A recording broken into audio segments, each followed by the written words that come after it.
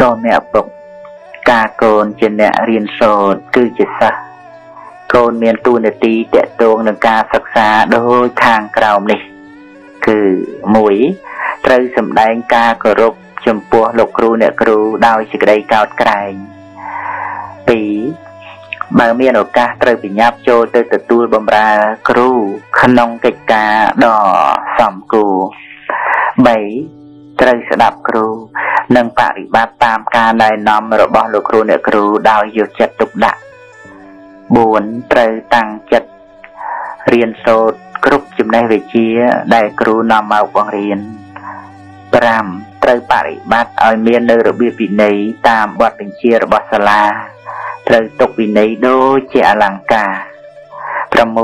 ត្រូវជួយធ្វើការងាររបស់សាលាតាមការឆ្លាតឆ្លៀសរបស់ខ្លួន និងមិនត្រូវខ្ជិលជាដាច់ខាត7ត្រូវជួយរក្សាទ្រព្យសម្បត្តិរបស់សាលារៀនឲ្យបានគង់វង្ស8ត្រូវមានសេចក្តីស្រឡាញ់រាប់អាន ចំពោះសិស្សសាលាផងគ្នាត្រូវធ្វើជាសិស្សគំរូល្អ9 មានឆន្ទៈពេញចិត្តក្នុងការសិក្សាព្រោះការសិក្សាជាការស្វែងរកចំណេះដឹងមកដាក់ក្នុងខ្លួនត្រូវព្យាយាមឲ្យបានសម្រេចមិនខ្ជិលមិនគិតតែពីលេងសប្បាយត្រូវយកចិត្តទុកដាក់ចំពោះកិច្ចការនិងត្រូវចេះពិចារណាក្នុងហេតុផលផ្សេងផ្សេងចេះសាកសួរដើម្បីឲ្យការចេះដឹងបានត្រឹមត្រូវល្អ10 ត្រូវចេះប្រយ័ត្នចំពោះចំណងដែលចង់ក្នុងផ្លូវអាក្រក់ផ្សេងផ្សេងត្រូវរៀនឲ្យចេះមាននៅសេចក្តីអត់ធន់ដើម្បីបានជាដៃគូក្នុងការសិក្សា កូនត្រូវដឹងថាសេចក្តីអត់ធន់គឺជាវិជ្ជាដ៏សំខាន់និងជាឫសគល់នៃចំណេះដឹងទាំងឡាយនឹងត្រូវចាំទុកថាបកគលល្ងងខ្លៅមានខ្លួនឯងជាសត្រូវកូនអ្នកឪពុកអ្នកទីដែលកូនត្រូវបប្រតិបត្តិចំពោះអ្នកដតីជាទូទៅដោយការឲ្យនៅទឹកចិត្តល្អស្មោះរបស់កូនគឺ1កូនត្រូវសម្លឹងមើលមនុស្សគ្រប់គ្នាដែលបានជួបដោយក្រសែភ្នែកជាមិត្ត2កូនត្រូវចេះញញឹមឬមានទឹកមុខស្រស់ស្រាយជាមួយមនុស្សកូនអ្នកឪពុកអ្នកទីដែលកូនត្រូវបប្រតិបត្តិចំពោះអ្នកដតីជាទូទៅ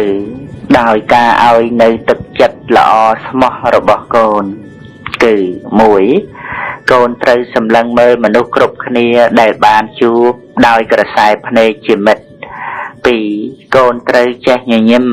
ឬមានទឹកមុខស្រស់ស្រាយជាមួយមនុស្សទាំងឡាយ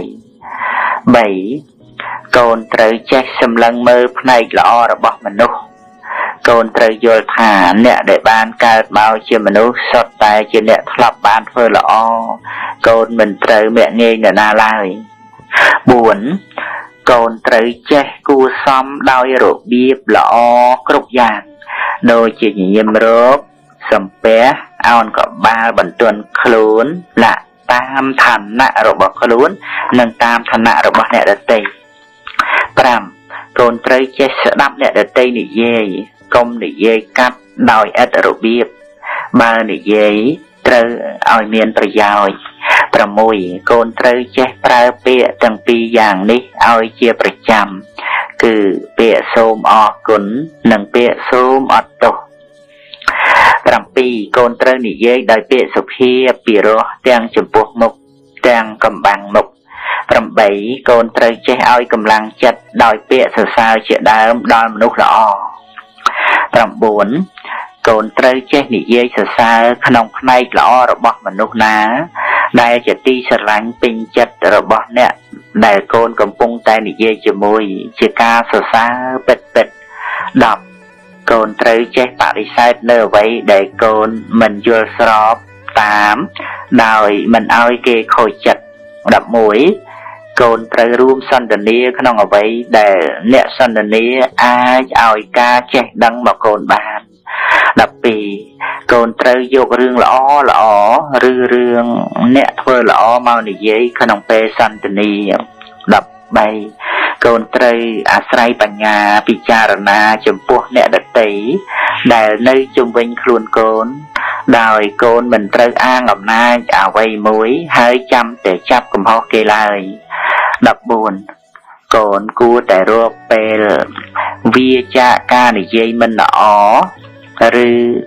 វាចាកការខឹងក្រោតយ៉ាងតិចឲ្យបានមួយថ្ងៃ ក្នុងមួយសប្តាហ៍ទោះជាថ្ងៃណាក៏បានដែរបើកូនសមាទានឧបោសថសិលកូនត្រូវតែសម្អាតចិត្តឲ្យបានល្អក្នុងថ្ងៃឧបោសថសិលនោះ